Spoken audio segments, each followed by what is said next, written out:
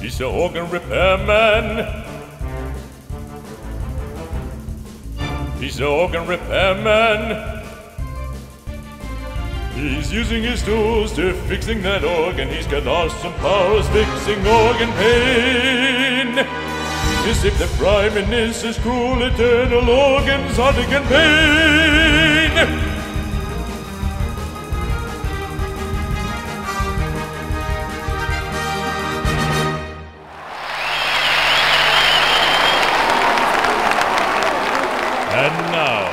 Our principal conductor and prime minister will perform the national anthem of Afghanistan.